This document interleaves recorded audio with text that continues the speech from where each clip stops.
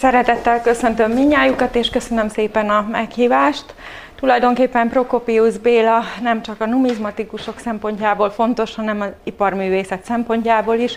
Jelesül több intézménynek, Iparművészeti Múzeumnak, a Színművészeti Múzeumnak és a Magyar Nemzeti Múzeumnak is donátora volt, és hát tulajdonképpen tavaly volt születésének évfordulója, a 150 ebben az évben 150 plusz egyre módosult, és hát az ő életművét mutatnám be, tulajdonképpen az életét elsősorban nem is a numizmatikához való kapcsolódását, hanem a személyiségét, az ő diplomáciai ténykedését és egyáltalán az egykori gyűjteményét.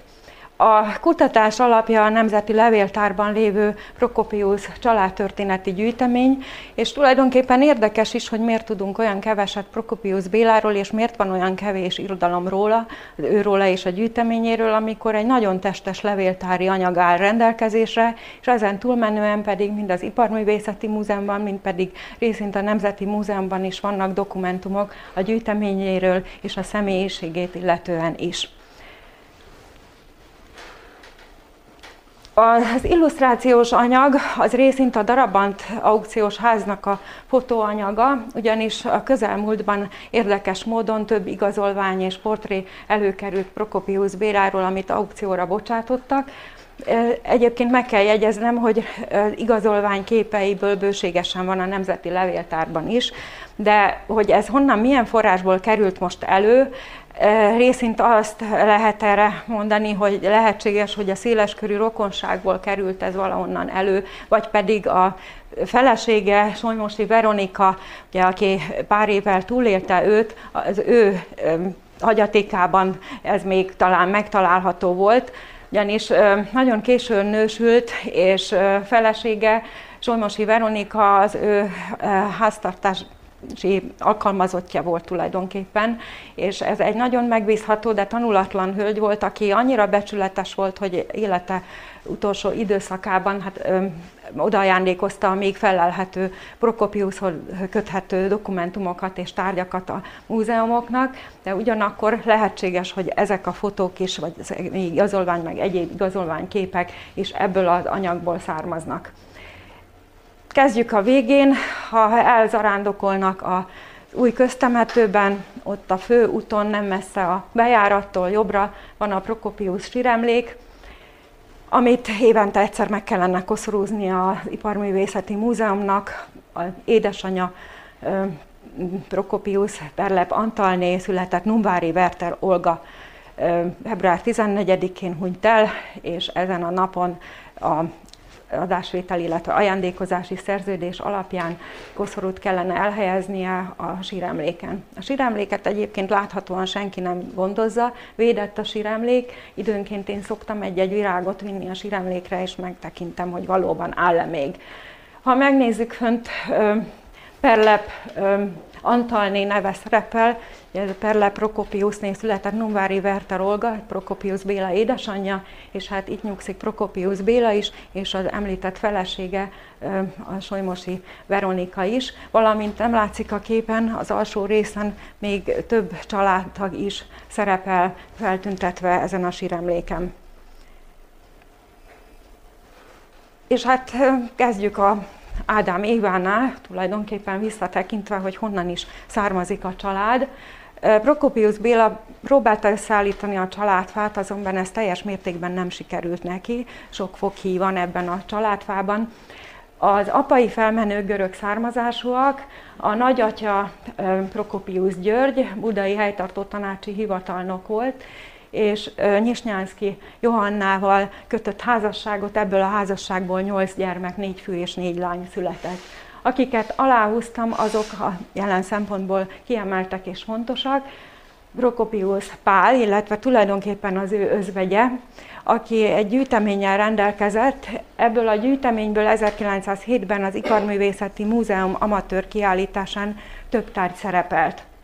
A teljes gyűjteményről nincsen áttekintésünk, viszont mindenképpen egy gyűjtővel állunk szemben. Ez az 1907-ben megrendezett kiállítás a budapesti iparművészeti gyűjteményeket mutatta be. A másik ö, alak, Prokopius Hugo, aki honvéd hadnagyként az 1848-49-es szabadságharcban részt vett. És a harmadik, Prokopius Vilmos, aki pedig Prokopius Béla édesatja volt, ő 1835-ben született, és 1870-ben már meghalt, tehát Prokopius Béla két éves volt, amikor édesatját elveszítette. Az édesapja egyébként a haza életbiztosító társaságnak volt főpénztárnoka.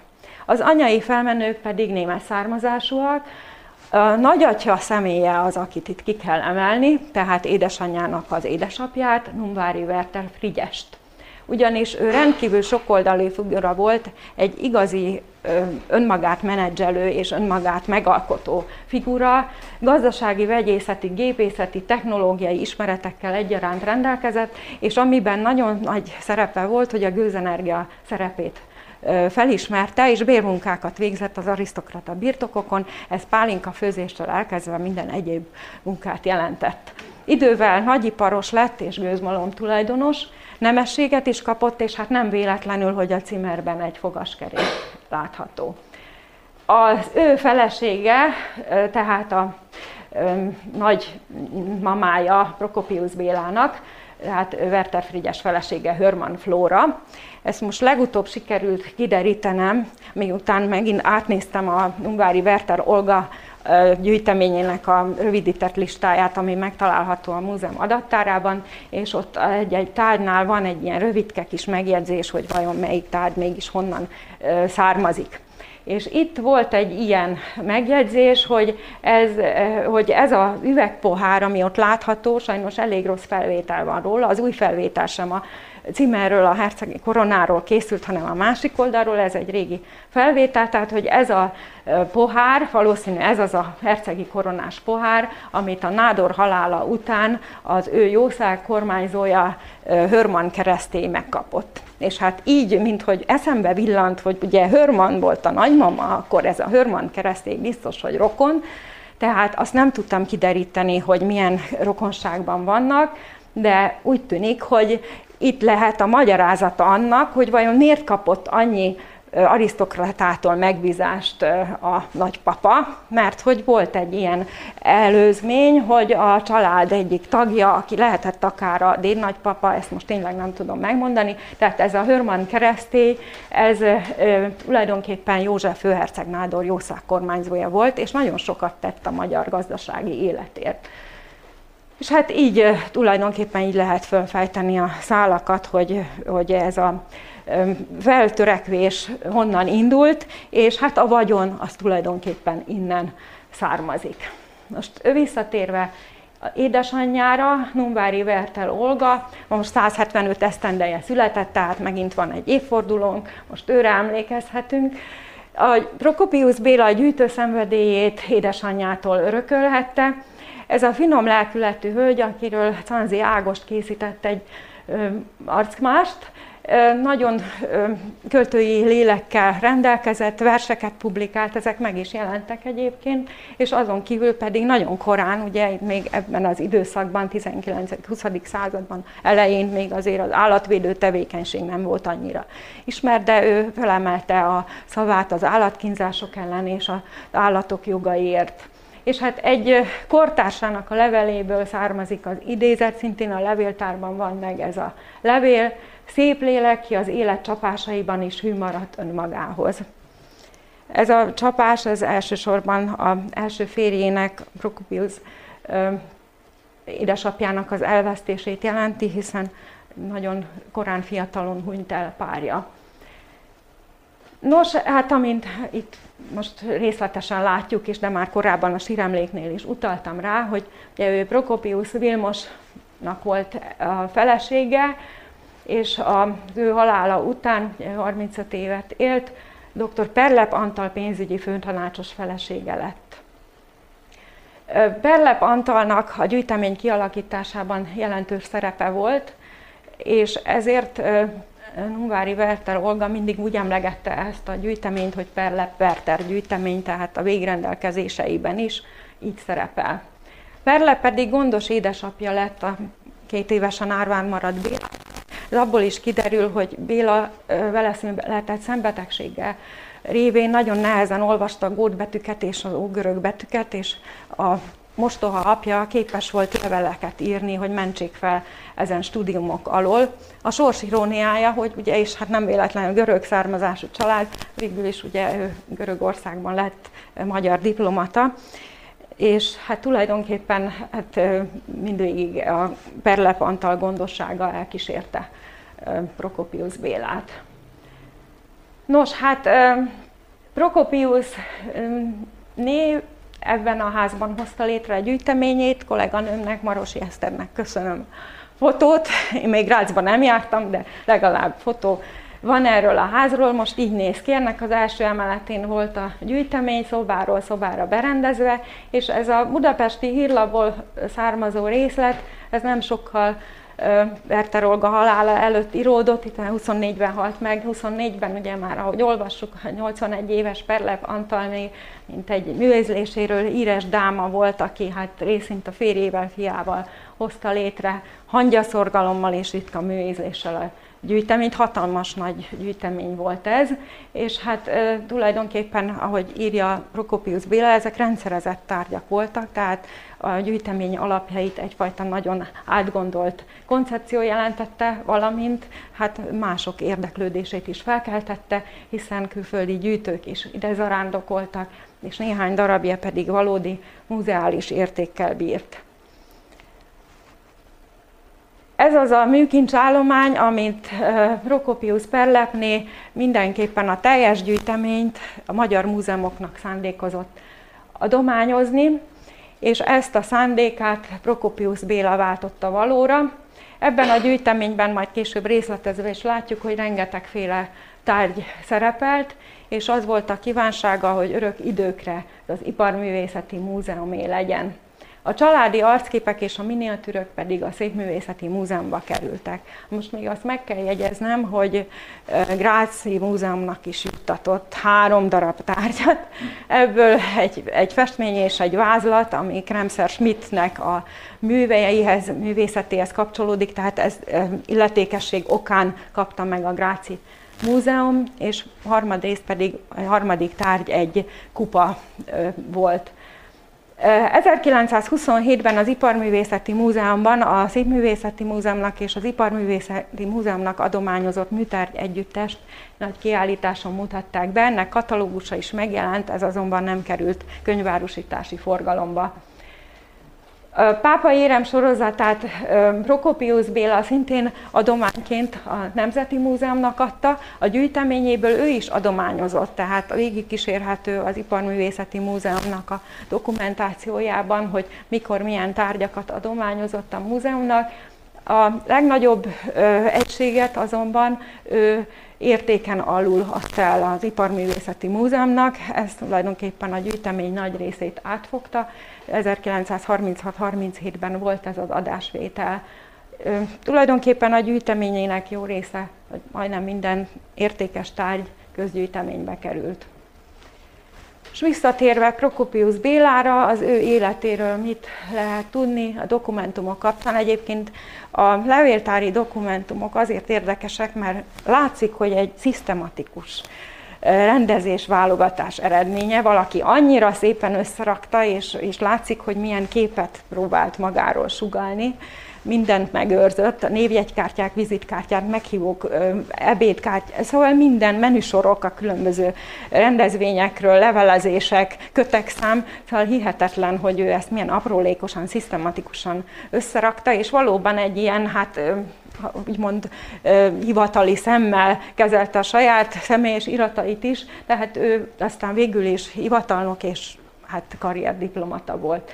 Budavári Községi Népiskolába járt, megvannak az a bizonyítványok, tehát itt végig lehet silabizálni, hogy valóban jeles, kiváló eredménnyel végezte az oskolát, a második kerületi királyi egyetemi katolikus főgimnáziumban viszont már nem volt ilyen egyértelmű a siker, ott bizony volt, amikor utóvizsgálatra is visszahívták, és elég egyenetlen teljesítményt nyújtott, 86-ban érettségizett, 87-ben érdekes módon a Magyar Király József Műegyetem gépészeti szakosztályára jelentkezett, ez lehet, hogy valamiféle nagyacsai indítatás volt, minden esetre itt nem érezhette jól magát, mert egy év múlva már a jogtudományt tanulta a Királyi Magyar Tudomány Egyetemen. 1893-ban pedig jogi diplomáját átvette. Ez egy fiatalkori igazolványkép, szintén a darabant árveréséről. És hát a hivatali előmenetele, ebben viszont követte a mostohapját, ugye Perlep Antal az igazi hivatalnok volt, lehetséges, hogy segítette is a mostoha fiát ebben a karrierépítésben. 1893-ban, ahogy megkapta a jogi diplomát, kereskedelmügyi magyar királyi miniszter segédfogalmazói címet adományozott számára, és már ekkor részt vett a vaskapu megnyitásában, 1800, illetve 1896-ban jobban mondva, de a kereskedelmi minisztérium fennhatóság alatt. 1898-ban miniszteri fogalmazó, vámtarifa rendszer kidolgozásában részt vett, és az áruforgalmi statisztikákkal, gazdaságpolitikával foglalkozott egyébként főként és hát itt látszik a hivatali előmenetel, minden nincs feltüntetve, tehát a miniszteri titkár, osztálytanácsos, tanácsos, aztán államtitkár lett, és végül ugye első osztály követségi tanácsos. Itt a pályában meg kell említeni, hogy a kereskedelemügyi és a külügyminiszteri tárcához tartozóan végzett munkákat, és nincs benne a listában 1917-ben a gazdasági átmeneti minisztériumban is dolgozott, valamint rövid ideig a kereskedelmi múzeumnak is igazgatója volt, szinte mindig oda helyezték, ahol valami probléma volt. Ő nagyon lelkismeretesen dolgozott, rengeteget jegyzetelt, a beszámolói oldalszámokat töltöttek meg, sokszor már szóltak is neki, hogy kicsit rövidebben, célratörőben fogalmazza meg, mert hát ugye vannak ennél még fajsúlyosabb témák is. Nos, hát a karrierdiplomata pálya főbb pontjai pedig a következők, még a kereskedelmi minisztérium kiküldötteként ment 1905-ben Bernbe, 1913-ban szintén, mint gazdasági szaktudósító Rómában találjuk, 15-ben Berlinben, ezeken a helyeken is gazdaságpolitikával foglalkozott, és hát a karriernek a csúcsa az, az aténi követségi ügyvívői poszt, amit 1925-ben kapott meg, 1928-ban pedig rendkívüli követ és meghatalmazott miniszter. Ez tulajdonképpen a mai nagyköveti pozíciót jelenti, csak ebben az időszakban, tehát 1961-től alakult ki ez az egységes megnevezés a külpolitikai szférában. Az előtti időszakban a kisebb államoknak a kvázi nagykövetét rendkívüli követ és meghatalmazott miniszteri címmel látták el. Ebben az időszakban az, az érdekes még, hogy Gróf Teleki Pál tanulmányi útját is segítette 1928-ban, és 1928 második felében egy elég számos, egy görög küldöttség járt Magyarországon, és ekkor szintén ebben részt vett Prokopius Béla ennek a megszervezésében, ennek a görög küldöttségnek számos magyar fővárosi és vidéki céget, intézményt, üzemet bemutattak, és hát így próbálták a kapcsolatokat építeni, a díszvacsora és a tanácskozás főpontja az a szállóban zajlott. 1928-ban nyugdíjba vonult.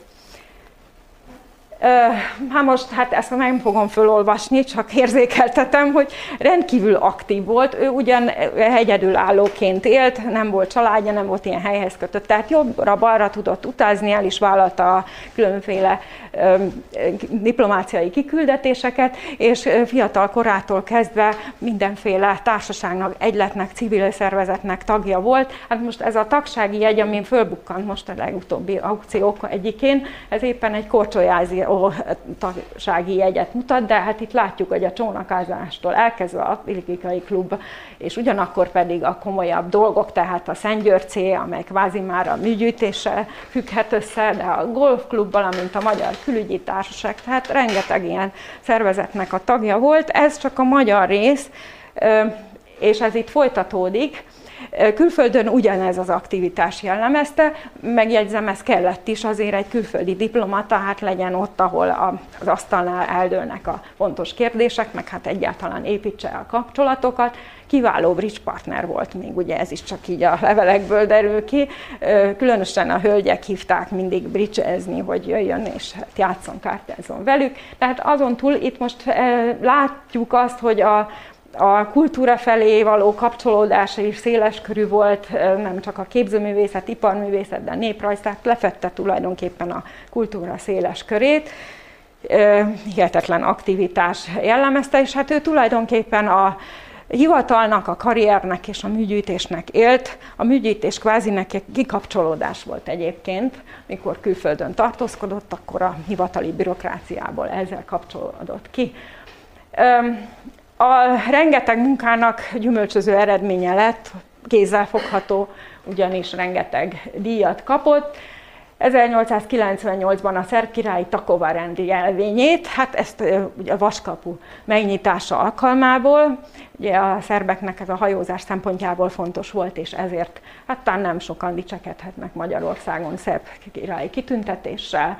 A vámtarifa rendszer áttekintéséért és annak a részvételéért Ferenc József rend lovakkeresztjét kapta meg. A korai időszak, tehát a 20. század első felének a gazdasági, külpolitikai szolgálataiért harmadosztályi vaskorona rendel díjazták, 1928-ban pedig a görög-magyar kapcsolatok építéséért a görög megváltórend nagy díszigeresztjét kapta.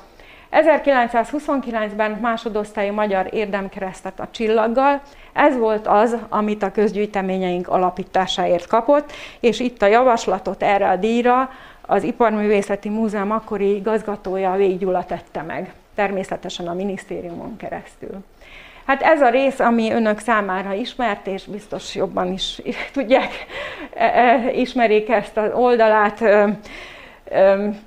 Prokopius Bélának, mint én, úgyhogy ebben nem is megyek bele. Ami még a levéltárban érdekes, az, hogy vannak különböző levelek a korneves magyar éremművészeivel, és hát itt különösen Erzsébetet emelném ki, de Madarasi Walterrel is, hogy Rómában volt, és akkor leveleztek, és próbálta támogatni Prokopius, szóval tulajdonképpen ő próbált velük is állandó kontaktban, kapcsolatban lenni, és hát az aktivitását jelzi, hogy természetesen a Magyar Numizmatikai Társulatnak és az éremkedvelők egyesületeinek is oszlopos tagja volt.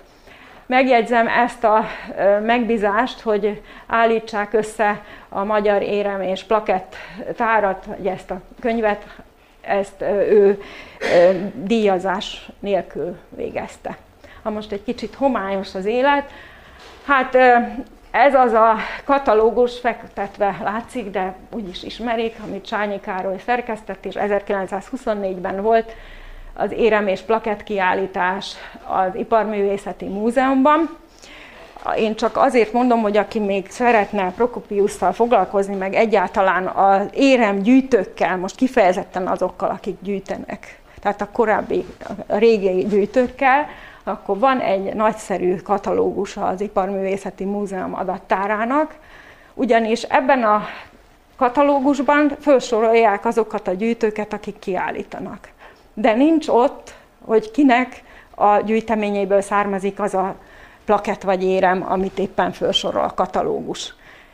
Viszont Csányi Károly, aki hát ugye fantasztikus volt a múzeum történetében, mert hogy ő rendkívül aprólékos volt, mindent az ő apró kis pöttömbetűivel, meg rengeteg fotója volt, mindent feljegyzett és leírt, és egy nagyon megbízható forrás.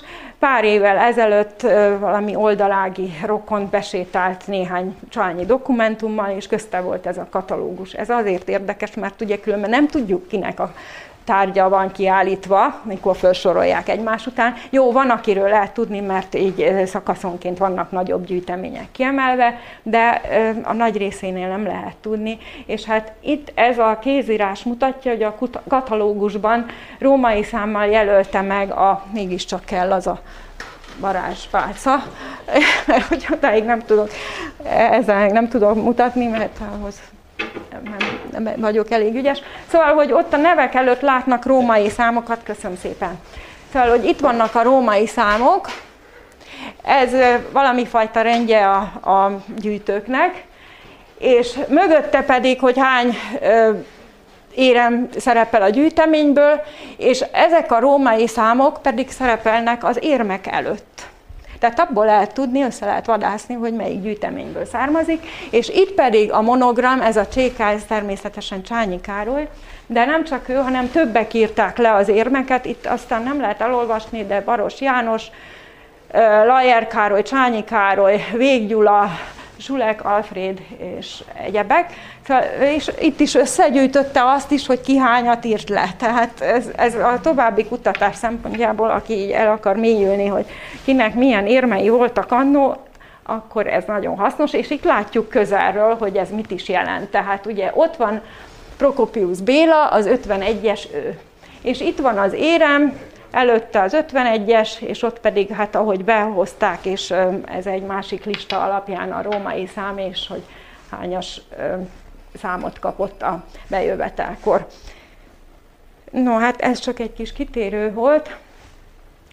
Minden esetben nagyon fontos, hogy a gyűjtő honnan szerezte vajon a vagyonát a gyűjteményhez. Már azért erre céloztam, hogy itt a családi vagyon az a nagypapáról jött, tehát anyai nagypapa az, aki a vagyont megteremtette. Ami Prokopius Bélát illeti, ő 1907-ben jutott egy nagyobb örökséghez, amikor édesanyja testvére Werther Alvin meghalt, közel 40 ezer korona volt az örökség. Egyébként Prokopius Bélának nagyon hosszú neve volt, többek között az Alvin név is szerepel ebben a listában.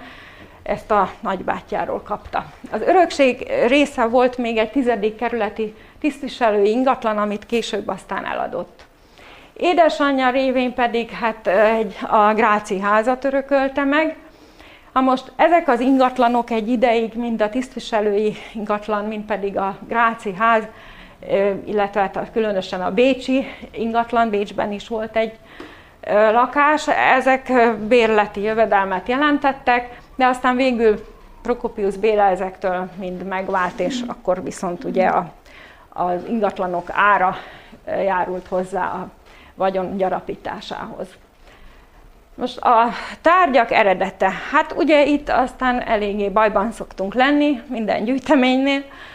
Nagyon ritka az olyan gyűjtő, aki megőrzi a számlákat, és a számlák meg is maradnak. Na most hát édesanyá gyűjteményéről annyit tudunk, meg már a hírverésnél, az újságcikknél is kiderült, hogy tulajdonképpen családi darabok képezték ennek magját, családi festmények.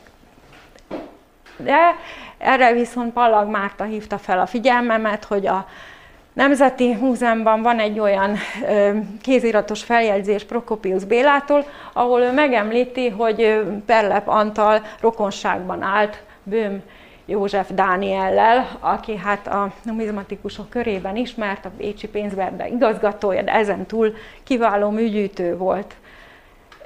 Ez nem bizonyított, ez egy feljegyzés, lehetséges, hogy így volt, nem tudunk ennek igazából most még utána menni, az viszont feltűnt most megint, hogy átolvastam a, ezt a műtárgylistát, amit az édesanyja ajándékozott a múzeumnak. Ebben van egy képkeret, Rembrandt metszet volt benne, és itt megjegyzik azt, hogy ez a bőm gyűjteményből származik. Na most hát egy tárgy alapján nem tudunk messzire menni, mert hogy a bőm gyűjteményből más magyar gyűjtők is részesedtek.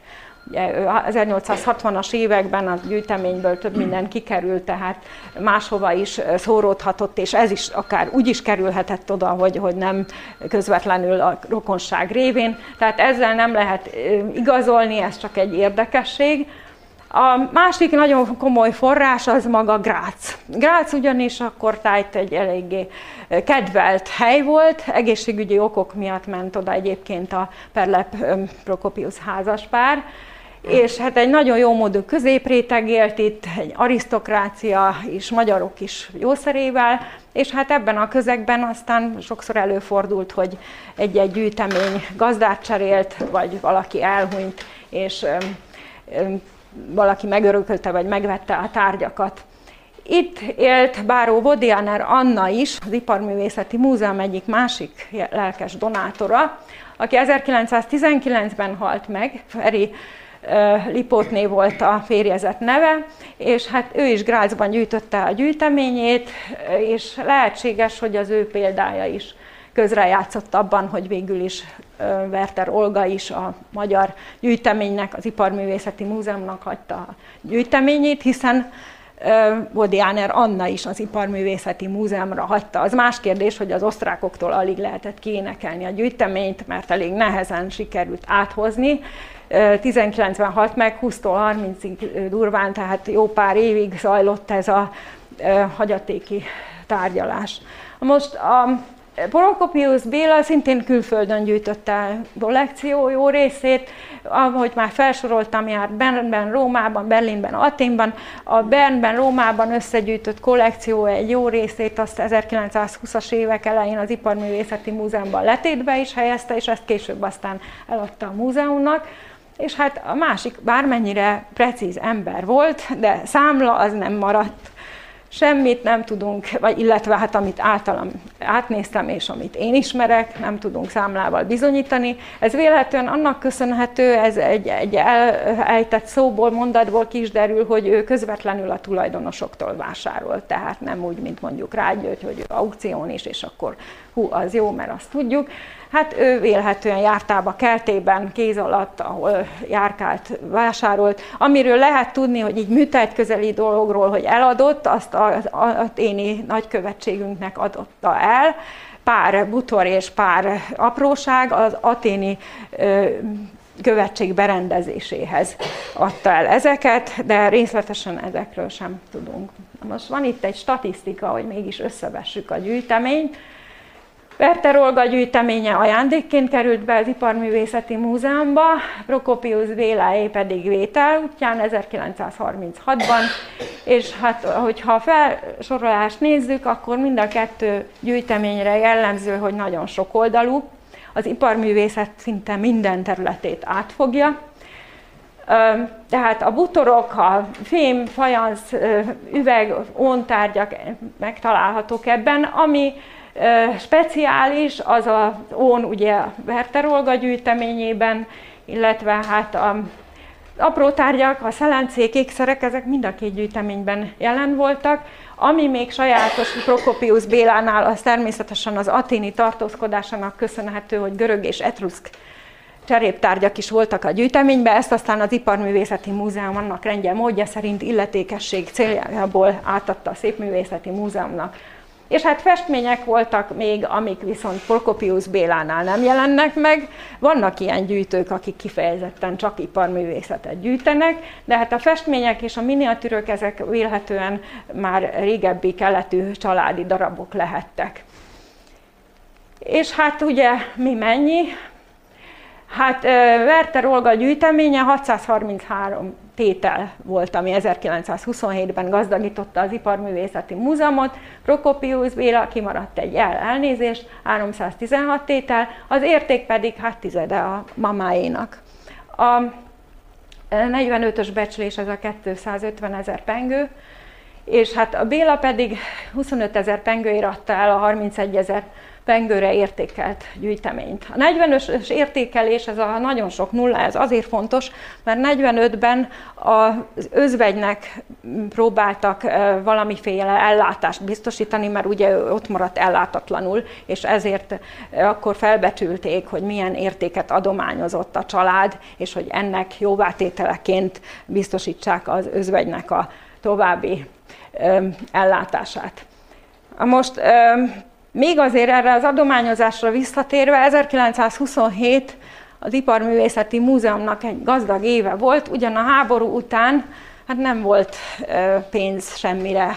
De a két világháború között a gyűjtők oly módon gazdagították a múzeumot, hogy tényleg példaértékű volt, és 1927-ben különösen, mert hogy 60 Józsefné báró né, üvegeket, textiliákat, csipkéket, porceláncsészéket adományozott a múzeumnak. Fájó, hogy nem a porcelánplasztika gyűjteményt, ami aztán ebek 30 adjára került, és ma sem tudjuk, hogy igazából kivitte el, és hova, és megvan-e még belőle valami. A másik pedig, hát a Szikra néven, álnéven író Kende Juliska, gróf Teleki Sándorné, aki pedig jó kapcsolatban volt az Iparművészeti Múzeum vezetésével, érmeket és plaketteket adományozott az Iparművészeti Múzeumnak. Úgyhogy ez az 1927-es év, ez hozzátéve még Werther Olga a gyűjteményét, ez igazán kiemelkedő év volt, és a sajtó is tele volt ezzel a hírrel, hogy ilyen példaszerű adományozás, és ezt a múzeum vezetése is igyekezett kihasználni, mondván, hogy ezt példaként állíthatnák a többi gyűjtő elé. A gyűjtemény jelleg, itt most megismerjük Prokopius Béla kézírását, nagyon határozott nagy betűkkel írt, és hát ebben, amit 1927-ben papírra vetett, benne van az, hogy ezeket az iparművészeti tárgyakat milyen célra szánták.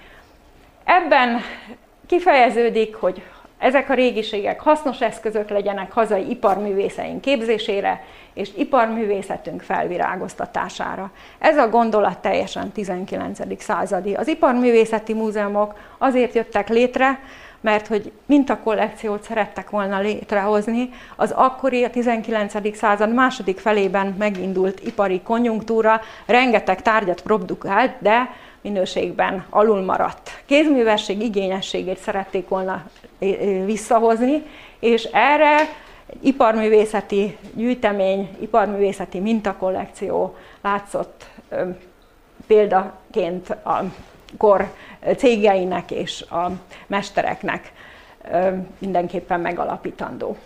Másrészt ebben benne van a Trianon utáni korszaknak a jellegzetessége. Prokopius Béla, tudjuk melyik oldalon állt, ő képviselője volt ennek a rendszernek, a horti korszaknak a diplomatája volt. Vitathatatlan, hogy ő a Trianont elítélte, és az is vitathatatlan, hogy az a fajta áldozatkészség és hazafiasság az ebben az időszakban még jobban tetőzött. Trianon után a nemzeti értékek és a nemzeti tárgyak, egyáltalán a megmaradt műkincsek, mert ugye a háborús veszteség megvolt, meg legajazták az országot, tehát a megmaradt értékeknek a szerepe megnőtt. És ez is benne van ebben az adományozásban, ebben a hazafias áldozatkészségben. Itt már az előbb bele is mentem abba, hogy mi jellemzi ezt a gyűjteményt történeti szemlélet az mindenképpen, hiszen kortárs műtárgyat nem gyűjtött sem mama, se a fia. És ezek a tárgyak, amiket megszereztek, legyen az butor vagy fajansztárgy vagy ónedény, ezek a szoba belsejét gazdagították, magyarán enteriőrökben gondolkodtak, használati és dísztárgyak az enteriőrök kellékei voltak. Ezek között a tárgyak között éltek, és némiképp a kézművesség igényességét hozták vissza, és a kézművességnek a gazdagságát. Egyfajta polgári értékrend és mélységes humanizmus is áthatja ezeket a gyűjteményeket. Werther Olga elsősorban a Mária Terézia korszakot, az Ampirt és némiképp a Biedermeiert helyezte előtérbe. Prokopius gyűjteményében pedig elsősorban azért, mert hogy Olaszországban is élt, gazdag a reneszánsz anyag, és szinte a reneszánsztól a Biedermeierig egy egész sor stílus tanulmányozható, valamint antik emlékek is vannak az ő gyűjteményében. Tehát lényegében az ő kollekciójuk úgy nagyjából a 18. század közepétől egészen a 19. század elejéig áttekintést ad a kor fő áramlatairól, irányzatairól, a főbb tárgytípusoktól, anyagtípusokról eh, és a mívességekről. Különleges tájtípusok is szerepelnek ebbe, olyanok, amiket mások nem gyűjtöttek, mert ugye képkeretet hát ugyan kigyűjtött, aki képben utazott és elsősorban beruházni akart, vagy vagyont menteni, az ugye ezüstöt, aranyat és festményeket gyűjtött, legfeljebb szőnyegeket. Itt viszont ilyen apróságok, szentképek, metszetek is vannak ebben a gyűjteményben, és hát azok a picikék, azok nem nagy butorok, hanem azok ilyen kézműves remekek, kvázi ilyen baba butorok, ilyen picike kis darabok, ami hát mesterségbeli bravúr ezt az intarzia technikát ilyen pici hajlított felületen elkészíteni. Prokopius Béla gyászjelentése, itt olvashatjuk ugye ismét Solymosi Veronikát, aki ő özvegye maradt, 44-ben nősült meg egyébként, és hát 45-ben születésnapja utáni napon hunyt el, és hát itt ismét feltüntették a kitüntetéseit, és hát Rákos keresztúri új köztemetőben nyugszik. Most még a hátralévő idében gyorsan végigpörgettünk néhány tárgyat, hogy bár ezt már akik jártak a Rát Múzeum kiállításán már láthatták, itt újdonság nem lesz, sőt még felét elhagytam, mert túl sok lett volna, de talán mégiscsak jó, hogyha végignézzük ezeket a tárgyakat még egyszer, hogy egy éremgyűjtő és numizmatikus mennyiféle tárgyal vette körül magát. Egykor az, említettem az előbb, hogy a reneszánsz butorok Rokopius Béla gyűjteményében kiemelkedőek voltak, ez a maga korában is az volt, hiszen már ugye ezt 20. század elején már ilyen régi darabokat szerezni, hát ugye ez tényleg csak úgy lehetett, ha ő ott volt helyszínen, és akkor kézből kézbe valahol felfedezett egy-egy tárgyat. Egy, ez egy eljegyzési láda, amin lapos faragott díszítéssel látható. Egy másik kelengye láda, amit Cassonénak mondanak, ez is egy gyönyörű reneszánsz darab, reneszánsz ornamentikával, gazdag faragással. És hát a bolonyai butorokból is van néhány ízelítőként ebben a kollekcióban, egy jellegzetes ebédlőszekrény, és hát bolonyai asztalok pedig több is előfordul a gyűjteményben, kisebbek, nagyobbak. Ezek a butorok, illetve ezekből jó pár darab sokáig a Nagytétényi Kastélymúzeumban látható volt, meg látható is lesz majd reményeink szerint, ha megnyit a Kastélymúzeum évvégén vagy jövő év elején. Ez szintén egy már egy nagyobb méretű reneszánsz asztal Bolonyából, és hát a reneszánszhoz tartoznak ezek a bronz mozsorak is, ebből is annak idején a gyűjtők, magyar gyűjtők többet vásároltak, gazdag gyűjtemények voltak, de már gyűjteményben is voltak ilyen bronz mozsarak, ez a reneszánsz kiállításunkon szerepeltek is annak idején a stílus történeti sorozatban. Ez is mutatja, hogy mennyiféle anyag előfordul ebben a gyűjteményben, és egy vas ostya sütő, amely ráadásul cimeres díszítésű, ez megint csak egy újabb anyag és technika. Ez is ritkaság, tényleg erre a gyűjteményre bátran el lehet mondani, hogy olyan tárgyakra is figyeltek, amikre esetleg más gyűjtők nem kapták fel a fejüket.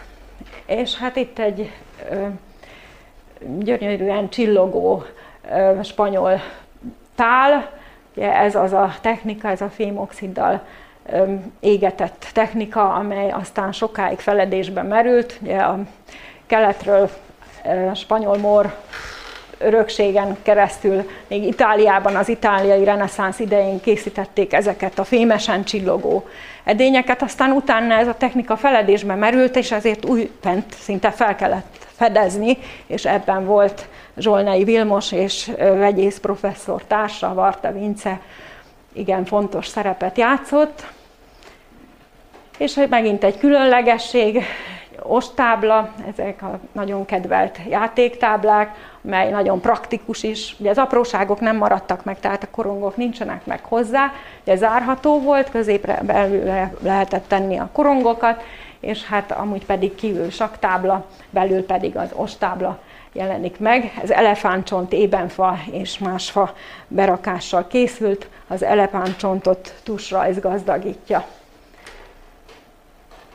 Az ón igen sok ö, megmaradt egyébként a Prokopius gyűjteményben, ez a mama gyűjteményéből származik, rengeteg, mint egy 200 ö, a tárgy, és jellemző, hogy az ón igen fontos szerepet játszott a korai asztal kultúrában, egészen addig, amíg a fajansz ki nem szorította, aztán utána meg persze a porcelán vette át a szerepet, de a 17. században nagyon szép óntálak, akár dísztányérok, akár pedig különböző használati tárgyak készültek. Itt középen Krisztus feltámadása jelenet látható, a cimerek pedig a száz választófejedelmek cimerei. Azt hittem még van valami on, de akkor ezek szerint nincs több. A különlegességet illetően a szentképek mellett van egy ilyen fogadalmi levél is a gyűjteményben, amely tényleg nem csak a Madonna ábrázolás igazán mesterien megfestett, hanem a különböző virágoknak az ábrázolása is ilyen fontos és érdekes. És egy különleges szentkép, ugye a madár figura a csőrében tartja Szent Orsolyának az arcmását. A szentképgyűjtemény is nagyon gazdag, több száz darabból áll, kisebb-nagyobb méretűek is vannak, tehát nem csak ez a hagyományos imakönyvbe, Bibliába helyezhető, ez például egy nagyobb darab pergamenre festett.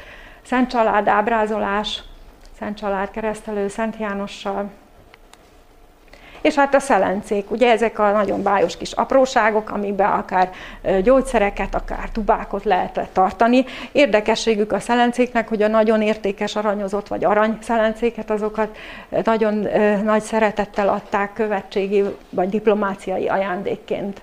Itt egy különleges ábrázolás, mert általában ezeken azért profán ábrázolások vannak, ezen viszont Szűz Mária jelenik meg, és Szent Domonkos kinyitva egy szelence, nem csak a külseje csinos, hanem a bévül is, egy szép hölgy portréjával.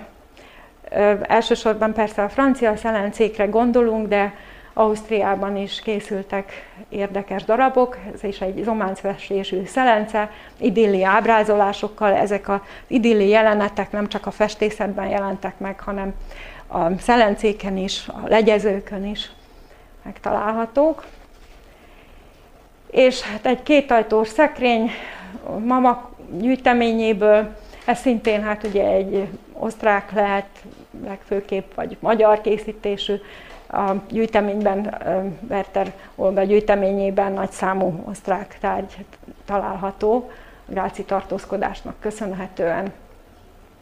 Ez is egy intarzigával díszített Mária Terézia korabeli ebédlőszekrény, a benne lévő edények is a Prokopius gyűjteményből származnak.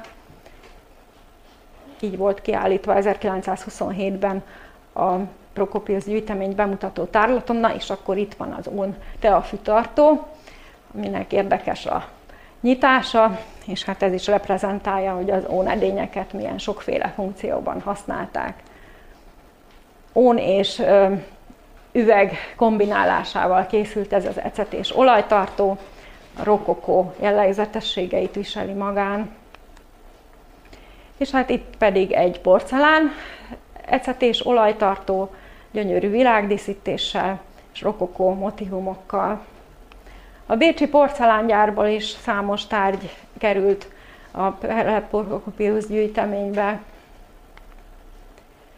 Egy különlegesség ez a necesszer, hát ugye ilyen kis apró készségek elhelyezésére szolgált. Ez Teknőcbán célból készült ez a tok, és abban találhatók a különböző eszközök.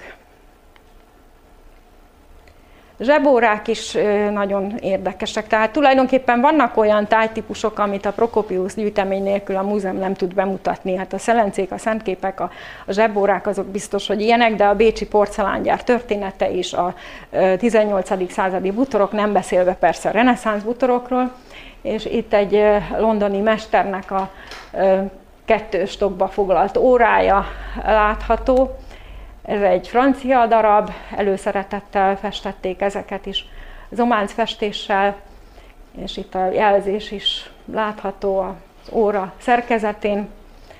Szintén egy festett zománc díszítésű allegorikus jelenet látható, a hűség jelképe a kutya, illetve a páros galambok,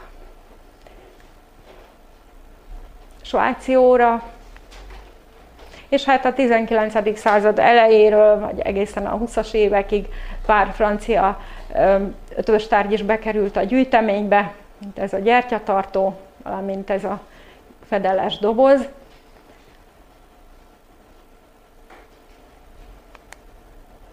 Különlegesség ez a kis elefántcsont dobozka, amelynek még a kis picike kis apró hozzávalója is megvan, hát biztos, hogy több készség tartozott hozzá, de ez az egy maradt meg. Szintén egy allegorikus jelenet látható a doboz fedelén. Másik szelence, ami a történelemhez kapcsolódik, a lipcsei népek csatája emlékére készült. Itt a alsó képen látható a dátum 1813, éppen megjelenik Párizsi porceláncsészék is előfordulnak a gyűjteményben, de azért a bécsi porcelángyár sokkal nagyobb számban képviselteti magát. Egy jellegzetes ampérdarab. és a Tivoli Adrianus villa mozaikjának motivumai, valamit szintén előszeretettel használtak itt a klasszicizmus idején, a 19. század elején. Itt ez egy bécsi porcelán csészére kerül rá. Hát csak érdekességként és a sokszínűséget érzékeltetve cseh ólomüveg cukortartó, és naptár, ezek a kis almanachok, ezek nagyon népszerűek voltak a 19. század elején és a 18. század végén. Békateknőből készült ennek is a borítója, itt pedig egy ilyen, itt nem látszik a képen, de ez egy ilyen kihúzható leporellós jellegű zsebnaptár. Apró kis ö, virág imitációkkal, papírból készültek ezek a kis virágok, és azt ragasztották rá, és gyöngyházra festették a címlapon lévő képet. Ez egy különlegesség, ez a Wiener Kunstbillet, mert ezt egyedileg készítették, ezt főként új évre, meg névnapra ajándékozták egymásnak, fém vagy fakeretbe foglalták, és hát applikációk tulajdonképpen papír alapon, de gyöngyöktől elkezdve a fémekig, a préselt papírdíszítésektől elkezdve minden megtalálható, sőt, még szalmából is készítettek ilyeneket. Ez egy olyan dobozka, amelynek a tetején ott látszik is a befoglalt köszöntőkártya, a legnevesebb művész, József Endlitzbergernek a köszöntőkártyája, helyesen egyedi darab és ez pedig Baltazar Vigan nevéhez kötődő gyöngyházdobozka. Ez is itt azt mondhatnám széria számban készült, több ilyen készséget, vagy hát tulajdonképpen ebbe általában varóeszközöket tartottak. Hát ez nem ilyen célra készült, ez egy tükrös doboz belülről, és hát kívülről pedig egy látkép látható, ebből elég sok megmaradt a mai napig. Üveges szekrény a 19. század első felének egyik jellemző darabja, ugye a Biedermeier enteriőrökben ez elmaradhatatlan, ebben mutatták be a kis apróságokat, és hát Steinfelesznek a nevéhez fűződik. És végezetül pedig egy rokokó képkeret, az említett Kremser Schmidt, a Kremsi Schmidtnek a metszetével, ugye a Kremsi Schmidtről volt szó, hogy a Gráci gyűjtemény Kremsi Schmidtnek az alkotásait kapta meg, illetve kettő alkotását, hát a múzeumban is maradt, mert hogy ebben a gyönyörű rokokó képkeretben éppen az ő mitológiai témájú, még megfejtetlen ábrázolása látható. És záró szóként pedig, hogy Prokopius Béla azért legalább éremben itt legyen közöttünk, azért mutatnám ezt az érmet, ami őt ábrázolja, és hát nagyon szépen köszönöm, hogy ezt most kifejezetten az előadás kedvéért itt megkaphattam. És hát ezzel pedig zárom a előadást, köszönöm szépen a figyelmet és a lehetőséget.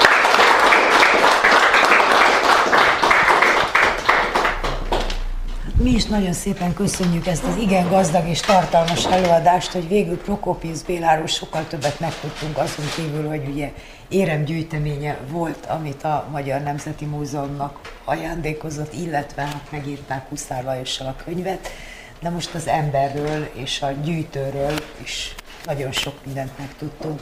Ki szeretne esetleg kérdezni valamit, tessék? Hol van vagy volt ez a Numbár? Ez német. Nem néztem utána, őszintén szólva. Német területen van. Hogy, de hogy pontosan hol, azt nem tudom. Más kérdés? Hozzászólás? Tessék. Hát csak arra szeretném a figyelmet felhívni, hogy mennyire változtak az idők. Ugye Prokopius Béla ezt egy 80-100 évvel ezelőtt összehozta ezt az akármint egy gyönyörű dolog. Ha valaki ma ezt megpróbálná, azt mint koszos orgazdát a rendőrség letartóztatná, ez nem vicc. A cuccait elszedné, és ő meg ülne a börtönbe. Idáig jutott az Európai Uniónak a kulturális javak kereskedelméről szóló törvénye. Most ha valakinek van egy akármi egy, egy ládája, és oda megy, én ezt megvenném, ez bűnügy. Mert nem lehet ilyet csinálni, szóval változnak az idők. Igen. Én szerintem nem egészen így van, tessék. Most hamarosan megjelenik a cikk erről a miányról. Aha, ja. Hát a legjobb cimborámat elvitt a német rendőrség. ja, jó, mondom. Azt Nem, mondták, nem, hogy sírrabló meg minden, hogy 50 éve nem járt Belgiumon kívül, hát mit rabolt ez a közel-keleten, és elvitték. Jó, nem tudok hozzászólni konkrét dologhoz, de mondom azért ennyire nem lehetetlen a műgyűjtés, mert igen sokan, teljesen. De hát a numismatika is a Németországban már de igen sokan Problémás. gyűjtenek ma is, még mindig legálisan kereskednek. Hát nem római sírokból kell kiszedni a tárgyakat. mindenki ez azt gondolja, hogy igen sokan legálisan, ez nem igaz. Nagyon kevesen, és Hát mert nincs pénzük. Ah, ne, nem, nem pénzkérdése. Ez félnek, félnek az emberek egyszerűen. Mint ahogy az 50-es években nálunk féltek elővenni a motyójukat, ugyanez van most Németországban. Hát az 50-es években halála után volt egy gyűjtő, aki szintén a múzeum egyik legnagyobb donátora, akit halála után fogtak perbe. Éppen érmek miatt. 50-es években. Igen, az 50-es 50-es évek. Ugyanez van most Németországban. Magam nem tudok hozzászólni, úgyhogy be kell vallanom Németországban, milyen a műgyűjtés. Nálunk ez most pillanatilag úgy tűnik, hogy egyszerűbben működik. Hát nálunk is, hogy úgy mondjam, a gyűjtők háttérben maradnak. Nem vállalják a nevüket. Most már jó pár éve, illetve hát tíz éve rendezett a múzeum, éppen tíz éve egy magángyűjteményi kiállítást iparművészeti tárgyakból. Éppen az említett amatőr kiállítás századik, de egy kicsit megkésve.